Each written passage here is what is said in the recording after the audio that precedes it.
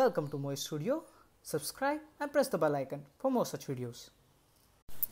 Hello everyone, welcome back to MOIE Studio. We're back with another video. So in this video, we'll learn how to integrate Razorpay with our Flutter app. So before we start the video, I just want to thank all of you for all your support and because we've just crossed the 500 subscriber mark. It means a lot to us. If you have any questions, suggestion, feedback or anything that you want to share with us, you can just write it down in the comment box or you can just mail it to us. We would be happy to help. Now to start off the video, so the first thing that we need to do is we need to go and import the Flutter Razorpay plugin. So let's just search for Flutter Razorpay and let's just go here. Okay, let's just search for the dependency. This is the dependency. Let's just go to pub.dev and get the dependency. And let's paste it in the pubspec YAML file. So this is the empty project that I've just created let's just paste it here and do pub packages get now the second thing that we need to do is we need to go and create an account on Razorpay so let's just search for Razorpay and let's just sign up here.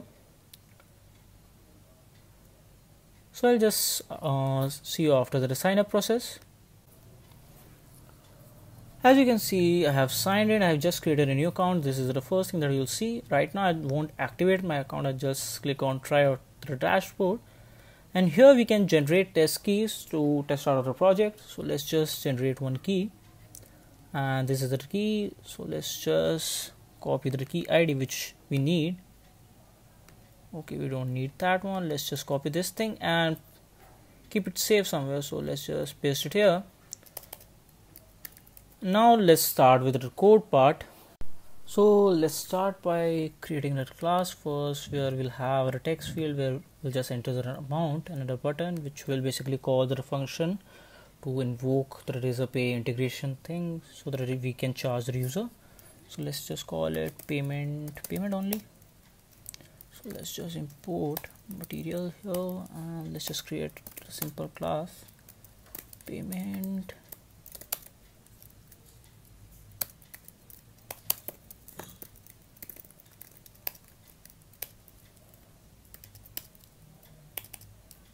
let's just do this. So we have the class ready.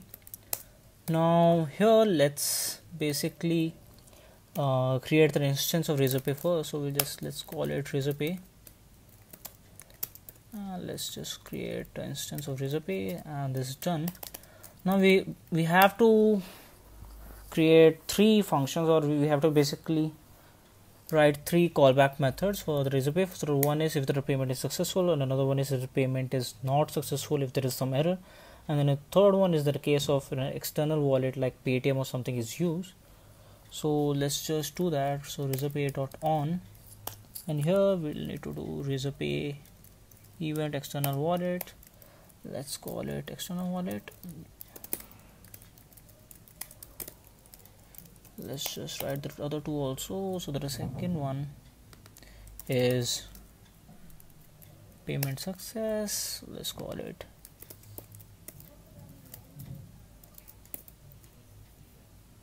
and the third one is payment error. So let's just call it pay error.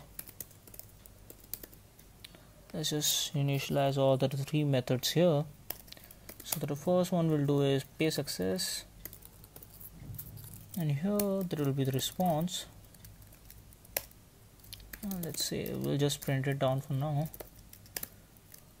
Okay let's try it the type for pay success. And that is payment success response.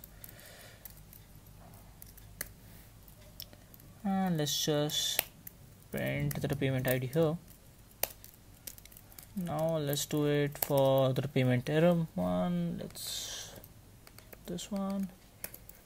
Payment failure response. And here we can basically write the message.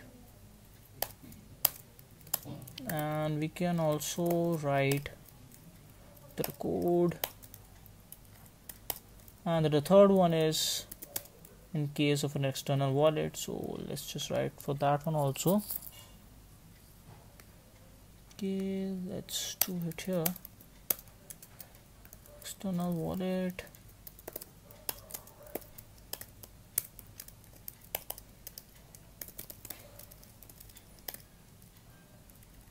Wallet name that will be good enough and string only. So we have registered all the three callbacks. Now let's create a function which will basically invoke the in razorpay method to get the money or the payment from the user so let's just call it get payment. And here. So here's the first thing that we need to do is we need to create a map which of options. So here we need to write a lot of stuff. So if you go to the Razorpay website you'll find a list of options that you need to specify like the key ID the amount the email or the if external wallet is needs to be used and all that stuff. So let's start with the key. And we have the key here. Let's just copy and paste it here. Now the second thing is we'll write the amount. And let's write make it or better if you use text field controller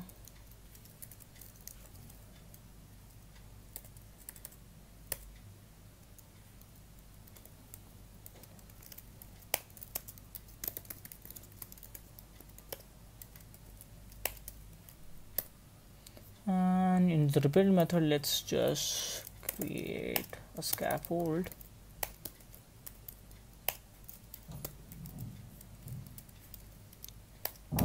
Which is a column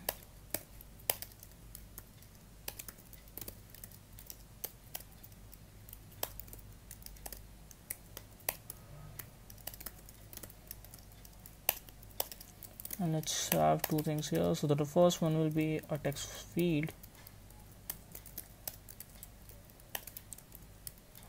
Let's give the controller here. What's the name of the controller? It's controller only. And the keyboard type.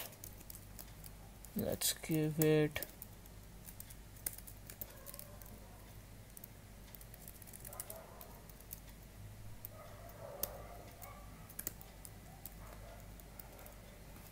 text input type dot number. So that is there and let's create a raise button. Which p. And this will just call this function. And here what we can do is we can basically use this controller text dot trim and let's just pass it.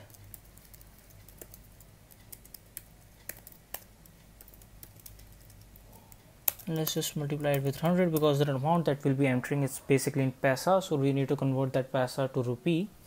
So that is there and now let's write the third one okay the third one is name. Let's just give it something let's say Moi. We can also give it an order ID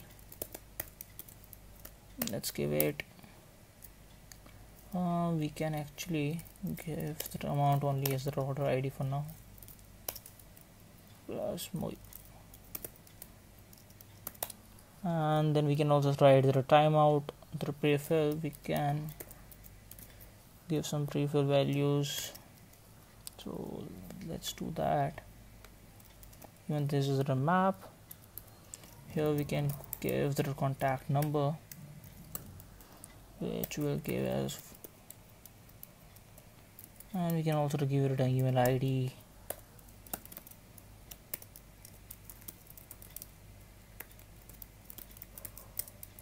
and this is done. So after this we have written it we have defined all the options. Now here let's just write a try catch where we'll basically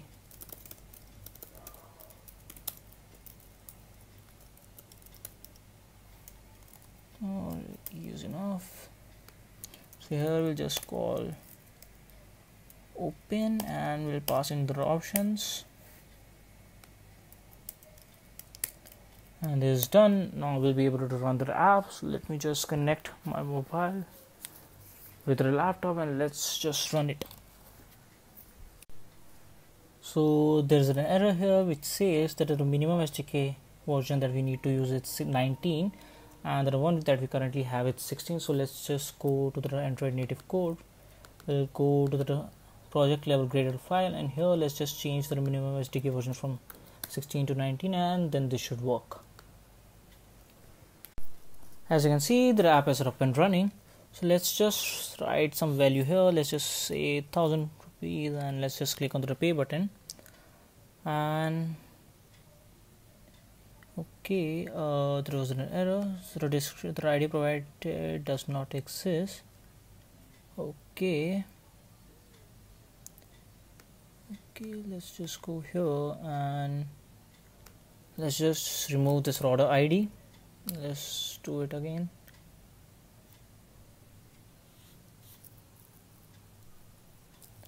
Let's just click on pay again and yeah this is working. Now as you can see there are multiple options. I'll just click on the card option and i'll just write some random number because it's a test account and it won't be a problem. So let's just write something and let's just give it a value 123 and let's just pay and here we'll just click on pay skip. And because it's a test account it's just asking ki ha this is the demo account. So we'll just click on success. And as you can see this was successful and we were able to okay let's see let's just check if the payment id was printed. And as you can see the payment id has been printed. Now let's try it for the error method also and let's do the same thing again. Let's just go to card. And let's just give it a random number.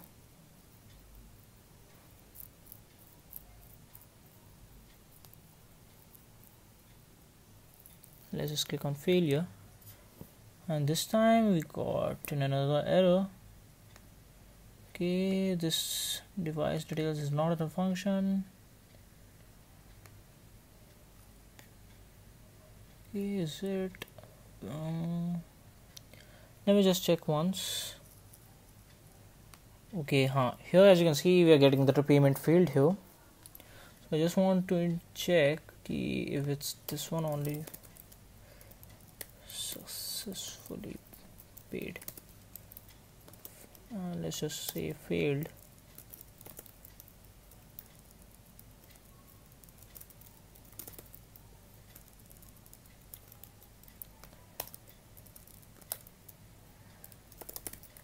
now let's try the third one which is the external wallet one. So let's try that also.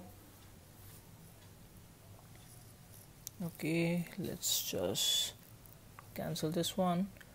Now let's try the external wallet one. So let's just write a thousand here. Let's just click on pay. And here we can click on wallet and we can select from any other wallet. So let's just click on MobiKwik click on pay contact number needs to be Indian uh, for now let's try with card only. Or let's try with UPI and let's just click on Paytm. Pay. And as you can see it says successfully paid. Because it's a demo account so no matter which app you're using or anything it will just return that the app was able to pay so that's all for this video. If you did like this video please subscribe to our channel. Our engagement rate is pretty high but the number of subscribers that we get is close to the 10% of that rate. So please do subscribe to our channel because it really motivates us to bring more and more content for you. Thank you and have a nice day